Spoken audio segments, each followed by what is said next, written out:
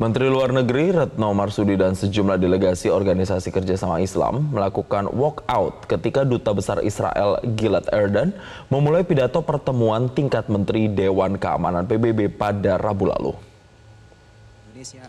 Menlu Retno bersama sejumlah diplomat meninggalkan ruangan pertemuan tingkat Menteri Dewan Keamanan PBB saat Erdan membacakan pernyataannya.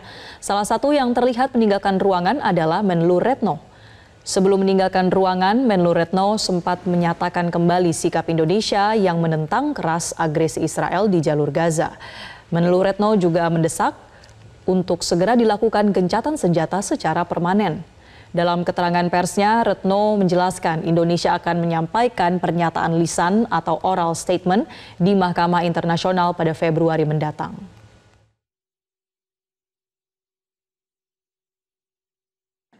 Pertanyaan saya kepada Dewan Keamanan PBB adalah, sudah berapa banyak resolusi mengenai Palestina telah diadopsi dan berapa banyak yang telah dilaksanakan?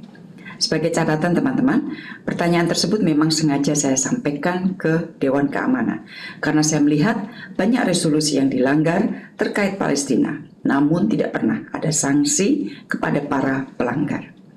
Rekan-rekan lebih lanjut dalam statement, saya juga menyampaikan ke mana Palestina harus mengadu jika DKPBB selama berpuluh-puluh tahun gagal menjalankan resolusi yang dibuatnya sendiri. Sementara Israel membunuh rakyat Palestina tanpa dihukum.